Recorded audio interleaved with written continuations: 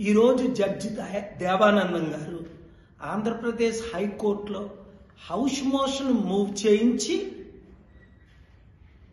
AP government GO వన్ని suspend చేయించారు.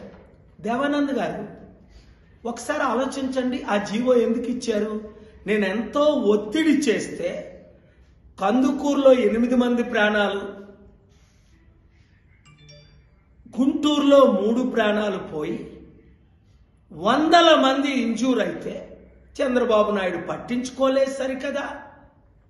ఆయన ర్యాలీస్ సందుల్లోనూ వీధుల్లోనూ వెయ్యి మంది పట్టిన దగ్గర యాభై వేల మంది పదివేల మందిని తెచ్చి చూపించుకోవడానికి మరల కొడుకుని ముఖ్యమంత్రి చేయడానికి కుట్ర.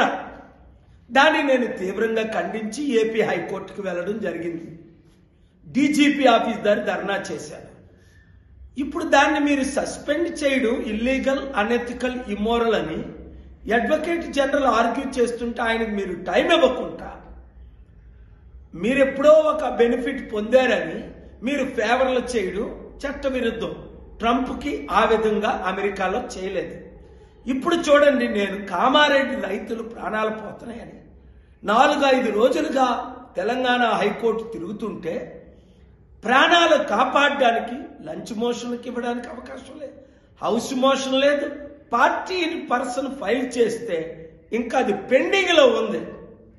ఇంత అవినీతి జ్యుడిషియరీలో ఉందని చాలామంది నేను అమెరికాలో ఉన్నప్పుడు చెప్పారు. నమ్మలేదు. ఇప్పుడు నా కళ్ళతో చూస్తున్నాను. నేను దీన్ని తీవ్రంగా ఖండిస్తున్నాను. జడ్జెస్ లాయర్స్ యాక్ట్ ప్రకారం మీరు ఫాలో అవ్వండి. చట్ట ప్రకారం మీరు తీర్పునివ్వండి god bless share this video with everybody